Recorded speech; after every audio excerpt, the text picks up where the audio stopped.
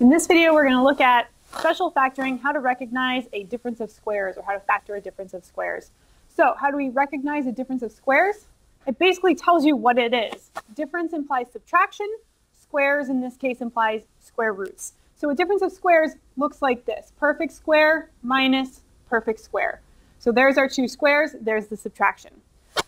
When we go to factor a difference of squares, so this is a rare case because usually when we factor, we're factoring trinomials, but here we're actually factoring a binomial.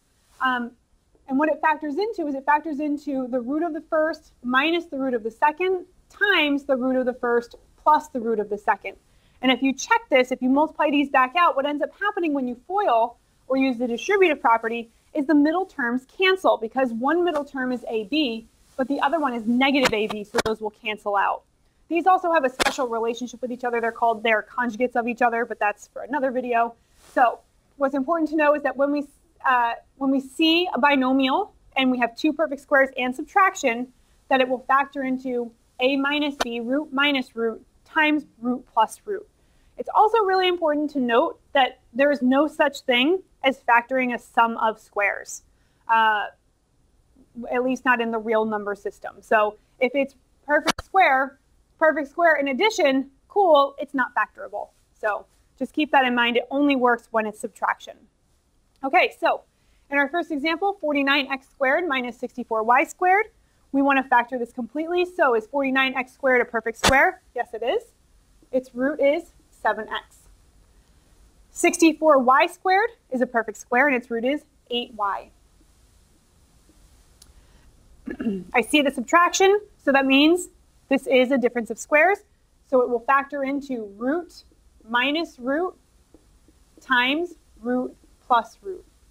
And of course, if you put this factor first and have 7x plus 8y times 7x minus 8y, that's fine. The order of the factors doesn't matter. Um, so we would leave it like that.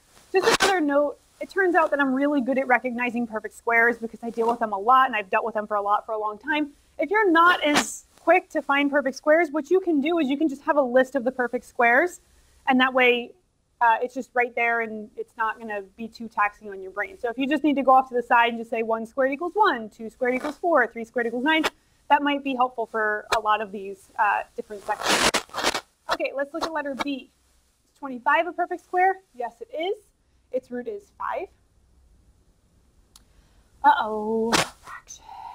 Oh no. It's okay. 1 is a perfect square in the numerator. Its root is 1. 100 in the denominator is a perfect square. Its root is 10. So the square root of 1 100th is 1 tenth.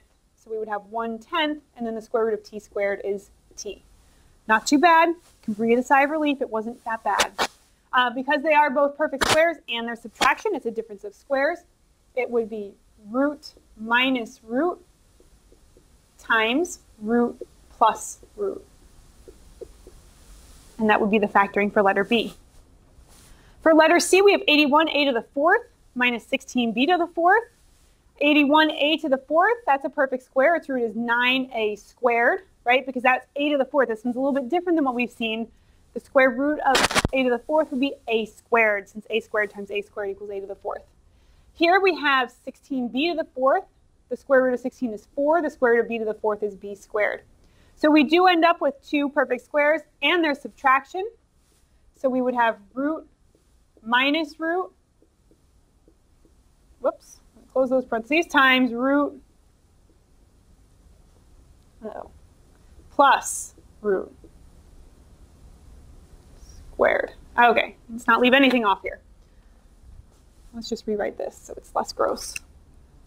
9a squared. Okay, so I have it. So root minus root root plus root. Now I'm really struggling with this one. Why is this one so difficult for me? Well, because I know that there's another step here. I see here that this, remember when we factor completely, there should be no common factors in any of the factors. And this happens to be a difference of squares. 9a squared has a root of 3a, 4b squared has a root of 2b. So this one can continue to be factored. Notice here, these are both perfect squares, which is great but the addition throws it off, making it not factorable. So we can only factor the one with the subtraction, and it's going to factor into 3a minus 2b, root minus root, times root plus root, times the other piece from the original plus. So be careful anytime you see a degree higher than 2, be careful that there's not another difference of squares hiding inside the original difference of squares.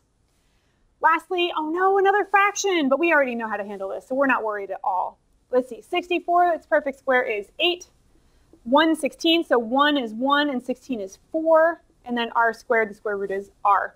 Okay, we do see our difference of squares. We see our subtraction, so it's going to be root minus root times root plus root. And that would be our factoring of the difference of squares.